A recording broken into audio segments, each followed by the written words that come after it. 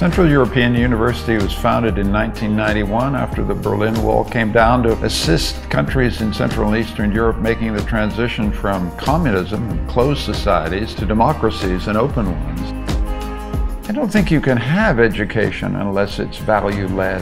In our case, it's because we think that free societies, open societies are better than closed ones. You want to have a certain attitude of mind, a certain willingness to challenge received opinions, a willingness to listen to stuff you don't want to listen to. There's a whole kind of morality of knowledge that goes into a free society, and we've been standing up for that for 25 years. I am a Hungarian Roma woman, and I'm the first in my family who entered university. I studied law, and I did my PhD in law, and I earned a political science MA from CEU. CEU helped me to freely and proudly express my identity. It gave me a boost in the field of my career too,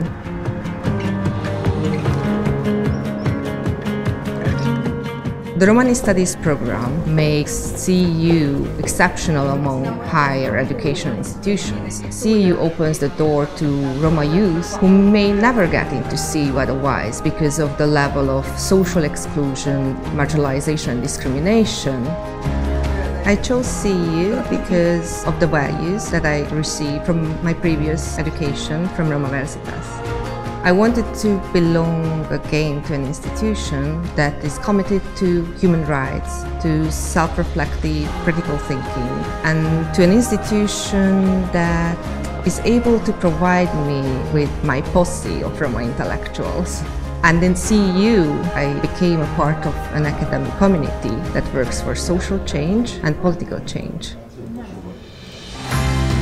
CEU's been a graduate school for the last 25 years, offering nothing but master's and doctoral programs. So it's a huge new departure for us to enter undergraduate education. And we want to do it with a distinctively graduate school flavors. And our objective is, is to get those BA students ready pretty early on to do master's and doctoral work. So it'll be a very distinctive kind of uh, approach and we think will be pretty unique in Europe. We have an international reputation for research and we've graduated more than 16,000 graduates. They come from over 100 countries and they spread out right around the world. My name is Kamila Auyezova and I'm coming from Kazakhstan. I've chosen CEU because of its academic excellence and great reputation. We live in a highly polarized world. It's extremely important to raise a new generation of thinkers who will be capable of doing their decisions and have a social impact. I can broaden my horizons here. CEU brings together lots of individuals from all over the world with different backgrounds. We don't have to share the same mission, but what we do is this commitment to make the world a better place to live.